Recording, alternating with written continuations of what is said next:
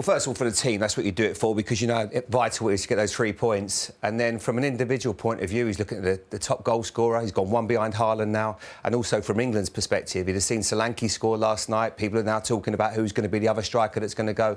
But you could just see his level today is so high.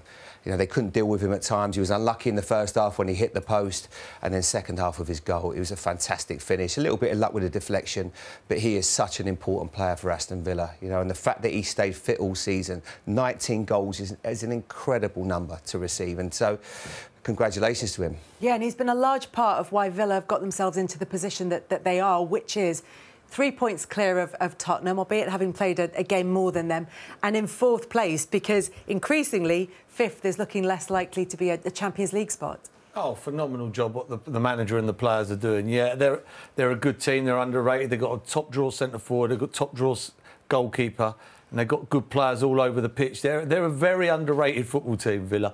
They had that little blip in the middle of the season, in the sort of the middle of the season when they couldn't win a home game, where they were so strong. Then they had that bad month. If they didn't have that bad month, they'll be sitting in second today. You know, they lost, I think, three on the trot at home or something, or three or four.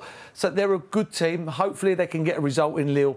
I really hope they can. They're a very good team, and, and Watkins has improved tenfold since the manager's been there, in my opinion. He's the made manager deserves so much credit, Paul, doesn't he? He come here at the wrong time. Yeah. He followed in Exactly. Arsenal. He's a bit of a know, laughing stock. Yeah. He's a million. You a top know, manager. now we know, you know, he's a top manager. He improves players, and that's that's your job as a manager to improve football, improve players, and he's done that with Watkins. Watkins is, you know, you, you've got to be a good player to, you know, he didn't get too many chances today. It's the inside of the post, spins around the other post, and then he scores a goal, a, a brilliant goal.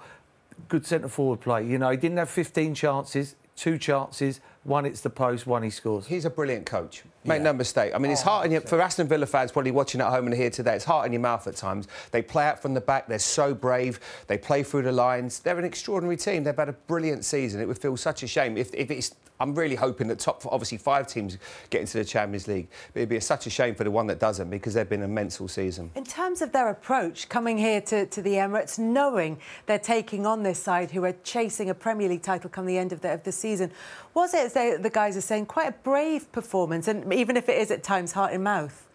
Uh, they were brilliant today. I think uh, the game plan was really clear. Uh, you know, they build from the back. They, they, are, they are not scared. They can play the ball from the back. When uh, they know that Arsenal uh, threat up, front, especially on the side, and when Arsenal have the, the ball in the final third, they stay really compact together. And then as soon as they have the ball, they break.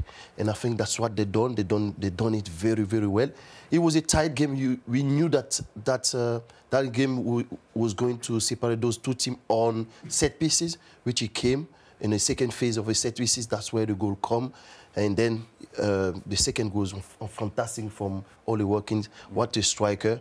Um, love him because for me, I think he's he is. I think he's what he's showing. He deserves more, in my opinion. And no surprise, he got 19 goals this season. Yep. And he's doing. He's, he's, his potential is unbelievable. He's going to be one of the best strikers in, in, in the country, in my opinion.